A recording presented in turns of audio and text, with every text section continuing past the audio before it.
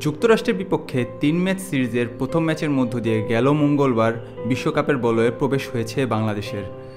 কিন্তু সেই প্রবেশটা সুক্কর হয়নি মোটেও। মার্কিন মূল্যকে বাংলাদেশের পা কেটেছে পচা মুখে। শক্তি সামর্থ্যের দিক থেকে যোজন দূরে থাকা যুক্তরাষ্ট্রের বিপক্ষে লাল সবুজের প্রতিনিধিদের মাঠ ছাড়তে হয়েছে পরাজয়কে সঙ্গী করে। শুরুতেই হোঁচট খেয়ে বাংলাদেশ ইতিমধ্যেই এসে দাঁড়িয়েছে খাদের কিনারায়। সিরিজের টিকে থাকতে এখন দ্বিতীয় ম্যাচে জয় ভিন্ন পথ খোলা নেই হাতুরু শিষ্যদের। আর সেই মিশনে আজ রাত নটায় মাঠে নামবে শান্ত বাহিনী। নবাগত দলের বিপক্ষে বাংলাদেশের হারের নজির এটি প্রথম নয়। এর আগে উনিশশো সাতানব্বই সালে কেনিয়ার বিপক্ষে প্রথম দেখায় প্রেসিডেন্ট কাপে দেড়শো রানের বড় ব্যবধানে হেরেছিল টাইগাররা। একই অভিজ্ঞতা বাংলাদেশকে উপহার দিয়েছিল হংকং, নেদারল্যান্ড ও স্কটল্যান্ডও।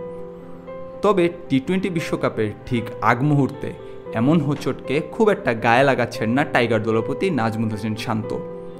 আইসিসির সহযোগী দেশ যুক্তরাষ্ট্রের বিপক্ষে হার দিয়ে সিরিজ শুরুর পরও সেই পুরনো বুলি টাইগার দলপতির মুখে। দ্বিতীয় ম্যাচে ঘুরে দাঁড়ানোর হুঙ্কার দিয়ে রেখেছেন তিনি। যদিও এমন স্ক্রিপ্টেড হুঙ্কার প্রতিবারই আসে জাতীয় দলের পক্ষ থেকে। সবসময় হারের কারণ হিসেবে দাঁড় করানো হয় নানা অজুহাত।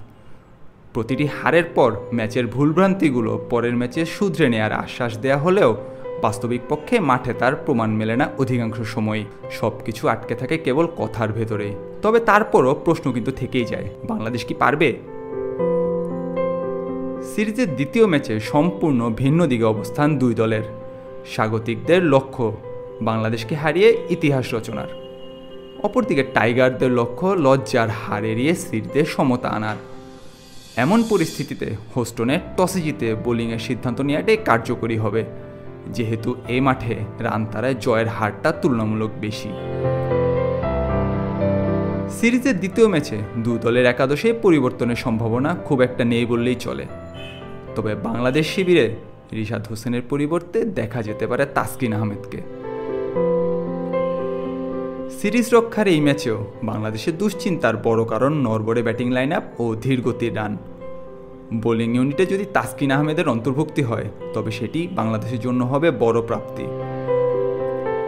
এখন দেখার বিষয়, যুক্তরাষ্ট্রকে হারিয়ে জয়ের ধারায় ফিরে সিরিজে কি টিকে থাকবে বাংলাদেশ? না, আরও একবার রনে ভঙ্গ দিয়ে লজ্জা রেকর্ড করে মাঠ ছাড়বে তারা। Nahian Arifin, on field.